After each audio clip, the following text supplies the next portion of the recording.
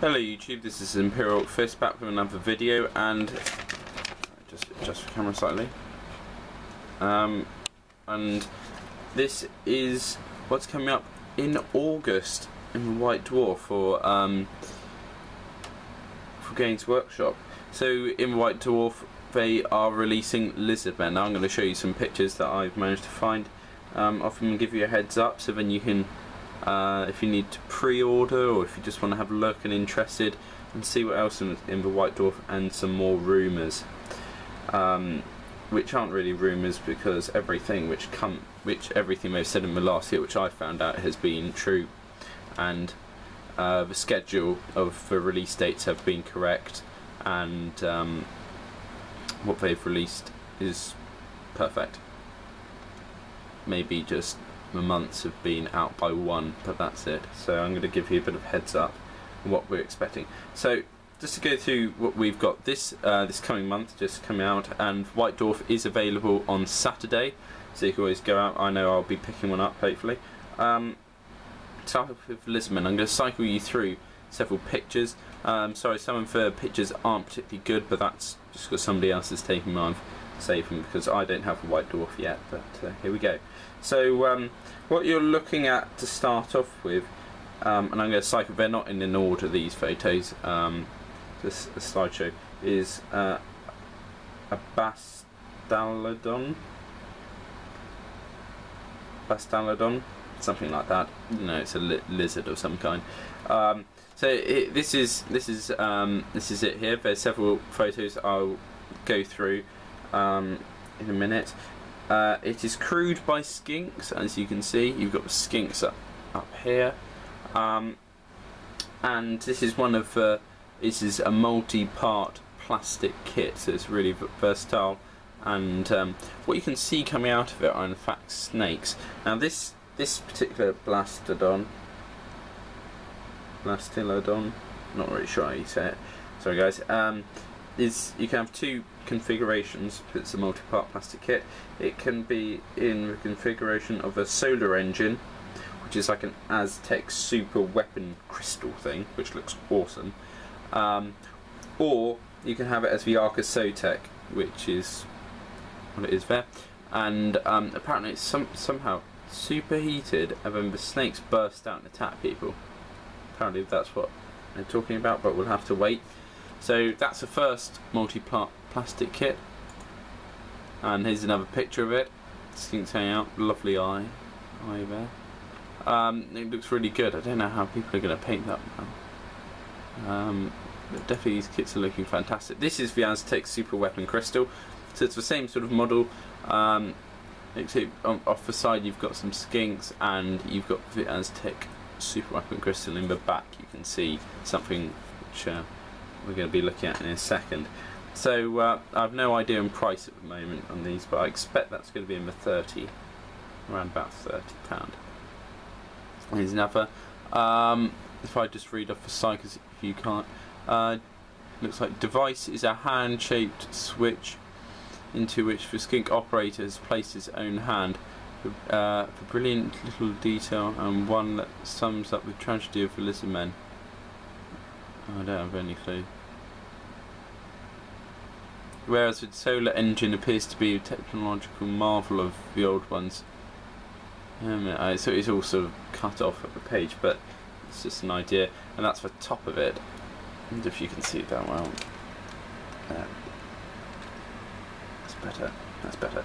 So here we go. That's another picture of you got your Aztec super weapon. Let me just move this around. I didn't really know how, how this is going to look. So, um, just this. There we go. So there we go. Now, here we have a very, very nice looking kit here, which is, where have I left my notes? Yeah. It's a Carnosaur model. Uh, so as I circle through I'll show you some more photos in a minute. Um, it's a multi-part part plastic kit. Um, so the Carnosaur is basically like um, a uh, the T-Rex of the men.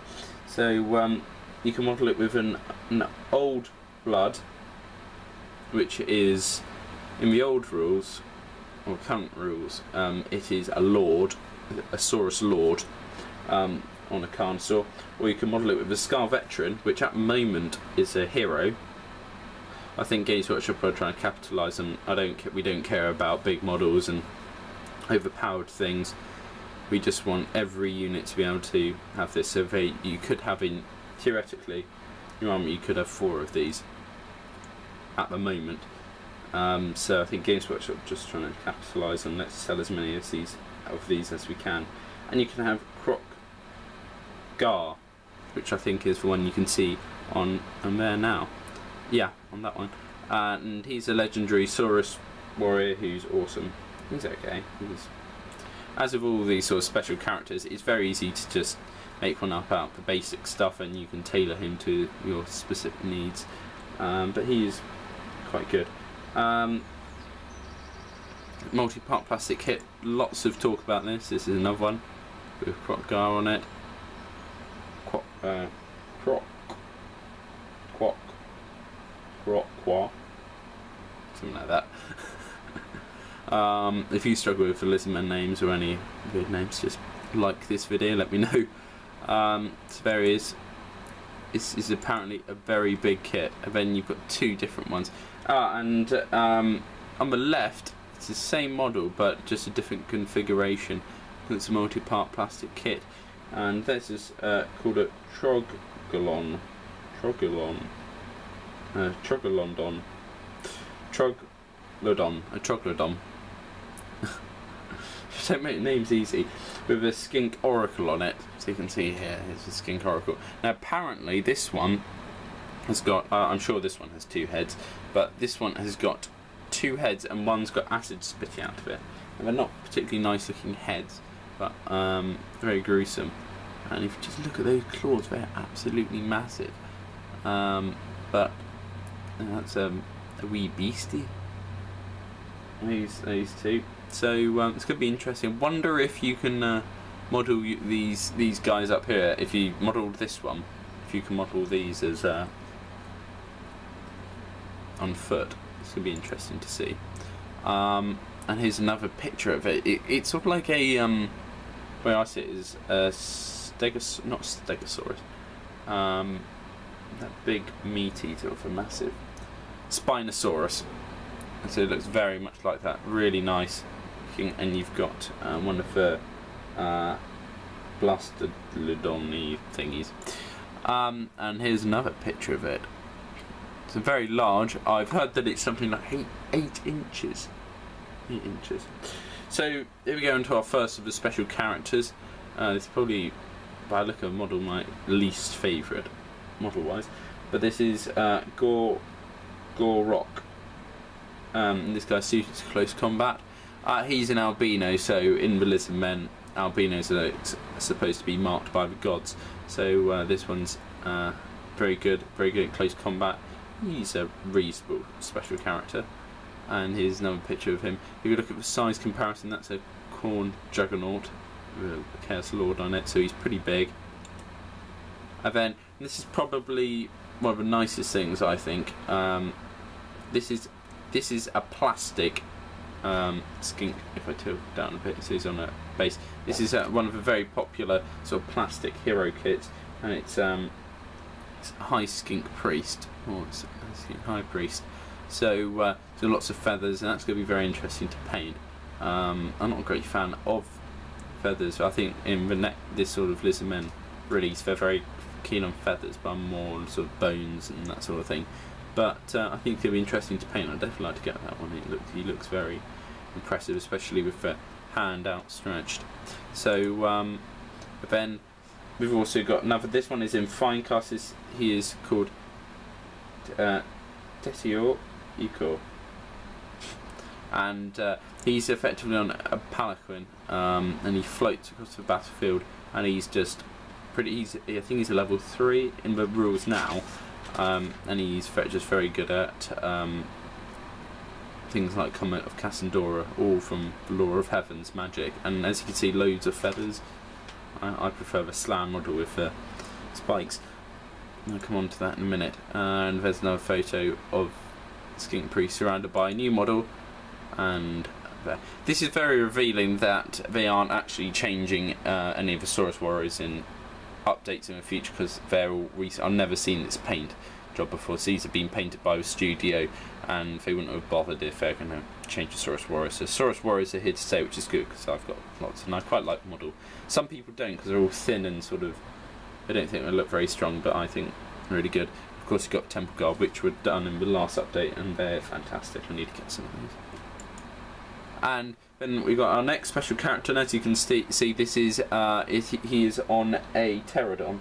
If you know this then, they have Terradons, um, and he is. Who is he? Diclaquis toe or something. He, he you can in, in um in this box set which I'm about to explain, you can model. This is really nice. You can model um, either a skink chief or um, or this dude who's a special hero, special character. Um, I'll move on, and this is for box set. So um, in this new box set, so you can make a rider to be Taquito or whatever that guy was, just past, or a skink chief, and uh, then I think there, I think Titi Coco or whatever his name is has to be on a Terradon. But then we have a new kit, so we've got multi-part plastic kit, lizard men, Terradons, and Ripperdactyl riders, which is the one where you can see here, the orange one, which looks very nice. Uh, um, bit of an odd face but you know. Um, so you get three models in a kit, I've heard. You and you can upgrade one to be your Taquito or whatever, your skink chief, and it's a multi-part plastic kit. Uh, looking at photos, I can't really see how this can be, how it's really a multi-part plastic kit, because it look nothing. It looks nothing like this one.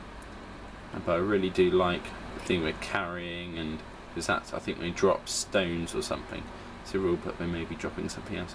Really nice, looks like a pterodactyl. Um, really nice model, I think, good change. And these are just some blurry pictures, sadly, the ones I can find. Um, I've set up in White Dwarf. And these are some more models, uh, photos of uh, the Terradon riders, so they look really good. Look, uh, look like good improvement. I didn't think they were going to change this kit because in the last update um, they gave sort of newish kits, but I think obviously we weren't happy. They wanted to bring out another flying unit. They're very keen on flyers at the moment for this sort of higher sort of that you saw all these flying phoenixes. And I think we're back to the start. So, um, uh, is there anything I haven't mentioned? No, so that, that's what's coming out in August. That is confirmed, absolutely confirmed. You can check it out. Um, in your White Dwarf on Friday. I'm just going to cycle through these now uh, as I talk. Um, so that that's fantastic. I think it's a good selection of models, big models. I, I thought there was going to be some big dinosaur models, and they haven't let me down. I thought there was going to be at least one. I thought they would do some sort of something like for Carnosaur. So um, I think that's that's good. What I would I thought would happen would be they bring out a new Slann Mage Priest model because that's definitely that's been around for two thing uh, two times. That may be something they bring out in the future, but I'm a bit disappointed they haven't brought one out because you can now either buy the bone version, which is God, I can't remember his name because I hate the idea of a bony Slann Mage Priest, and he's not that good. You can either buy the bony one as a relic priest, or you can buy the normal one, and they're set you can't change them in any way, they're just a toad. So if I wanted to get another one of mine, uh, I would be just have the same model. So I'm very disappointed they haven't changed that, especially after they've got lots of different skink priests, uh, and it's not it would, would it's fine just to convert a skink or something. Um, apparently this Carnosaur model uh, even dwarfs a Stegadon. See, if you go back and look at my videos, I've shown my two Stegadons, uh, so you can go back have have a look at that, and they are the Carnosaur model is apparently bigger than that, dwarfs it apparently. Um, also, uh, although it's good that they've got another rare choice, um, I thought it'd be nice to have another form of infantry because it always seems to be a bit of a block of Saurus. Um, but it's okay. I thought um, they would be. A, I thought there would be a different version of a Kroxigor, which, if you don't know what Lizardmen are, um, a Kroxigor is just a. It's a, it's a larger cousin of the Saurus, which is your frontline infantry, and these guys are big. And I thought there'd be a different version of that, perhaps with spears or shields or something. Model it more like an O, or so then you can choose its weapons like the Ogre Kingdoms. I thought they just do a unit like that, but obviously not. Um, which I thought would have been nice. I thought, yeah, another infantry unit, a reasonable infantry unit, um, and they could have redone the hunting packs uh, into plastic. But hey ho, can't do everything. Uh, so yeah, I think big, biggest disappointment is they haven't done Slann Mage Priest, but fantastic load of models here, and uh, I'm sure we'll see lots of people building them. I definitely will be looking at getting one or two. Um, especially Carnosaur, that looks very good, and for Blastodon or whatever it's called. And now I'm just going to shut the lens for a sec as I just switch things. I'm just going to talk very quickly because I can see my time is actually running out of the amount of filming uh, on 40k rumours. Okay, so um, if you can see this, I made it. I'll just be reading this out. Uh, Space Marines are going to be probably coming out at the end of this year. There's lots of rumours about them, and um, just got some quick things to add. Uh, just to let you know if you haven't heard anything. Uh, Codex, the new Codex is not Ultramarines heavy. It'll be a much broader spectrum of chapters. Uh, there will be supplements for uh, more very uh, famous chapters. Ultramarines, Imperial Fists, White Scars, Raven Guard. Mentioned White Scars will be the first out of the gate. Um, cover has apparently got Sicarius on the front. Uh, expect to see new weapons and squads, uh, possibly Land Raider Terminus, bring it in. Uh, a larger form of a Terminator, oh god. Uh, big kit um, is a massive dreadnought that is similar to an oversized Contemptor, which could be nice. Um, regarding large Terminators, these models are described as being similar in aesthetics to the curving shapes of both the Contemptor and Tau stealth suits bigger than current Terminators but smaller than a Dreadnought, this could just be a variant. Uh, regarding Big Kit, uh, it's been described as a love child of an existing Dreadnought and Contemptor, but enormous. It's also been described as a knight, and you've got all the sort of knights. If you've been around Warhammer for years, even longer than I have, you probably know uh, the sort of knight titan, the very smallest, smallest titan, uh, Imperial Titan that you can get. Just as the Eldar and Wraith Knight, be something like that, um, and probably be the same price. Uh, and arrive in September apparently. Pre-orders in late August. That's what I've heard. generally is right. Uh, oh no, that's not it. And then uh, we've also heard about Black Templars being released. Um, I need to really hurry up now. Uh, really, roundup of this is a fully enclosed Dread Knight sort of size thing wielding a large uh, Crusader shield and mace, upper body, mounted assault cannon. So lots coming out, and Horus Heresy, new tanks, bits and pieces come up for Adeptus Mechanicus and Erebus. So, um, please like, comment, rate and subscribe on this video and let me know what you think. Thanks for watching. Please check out my Lizardmen. Uh, give me a thumbs up if you're going to enjoy the Lizardmen just coming out and I'll catch you next one guys. See ya.